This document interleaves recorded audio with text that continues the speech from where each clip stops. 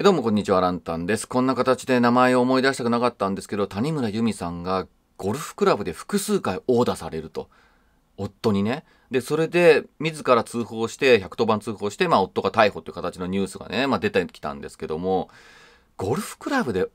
殴打されるってすごいじゃない。で、報道では足ってなってるんだけど、一部報道では腕も殴られてるっていうのね。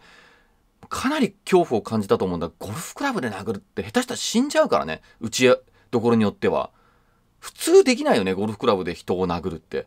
相当な DV だと思うんだけど、で、この DV を働いた夫っていうのが原田栄光さんっていう方でかなり優秀な方。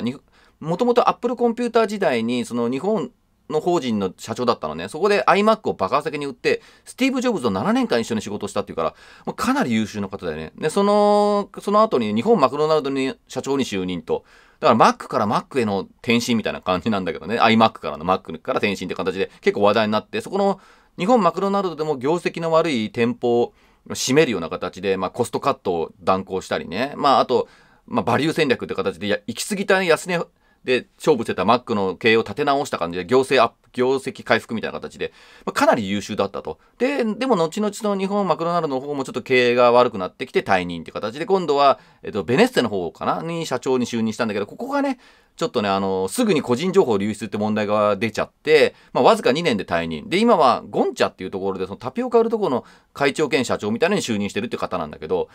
いや、だけどさ、ゴルフバッグで殴って、今ね、その、一人息子の方がいらっしゃるのね、子供、お子さんが。で、15歳か16歳になってるみたいなんだけど、結構多感な時期にね、こんな自分のね、父親が、はお母さんに対してこう DV 被害、ね、ゴルフで、クラブで殴るみたいな事件で逮捕されるって、まあ、多感な時期にね、どういう精神的な影響がないかっていうのもちょっと心配するところではあるんだけど、また、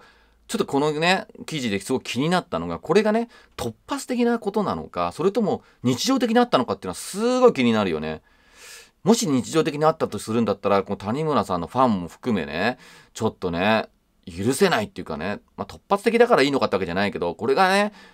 日常的にあったとするならば、もうなんかどうなんだろうってね、歌手活動も結構制限されて家庭に入った谷村さんがね、こんな形で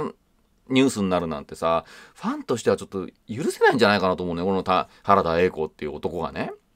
で、もしこれが突発的でないとするならば、その、まあ、ある程度年齢がいってね、その、まあ、認知症かどうかわからないけど、認知症の疑いでさ、自分の感情が抑えられないってこともあるから、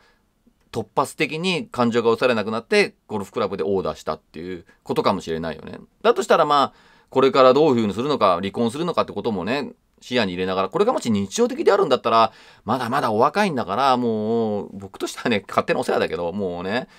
もう、離婚も視野に入れられた方がいいのかなって気はしちゃったりするよね。うん、まあ、息子さんがどう思うかってところだとは思うんだけど、うん、やっぱりね、あんだけ、クリスタルボイスだったっけ？なんかこう、歌声でさ、人気あったからね。なんか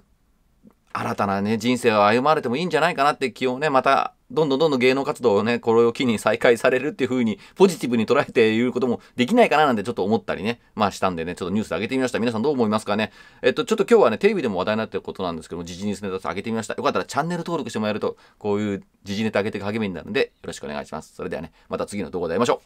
バイバイ。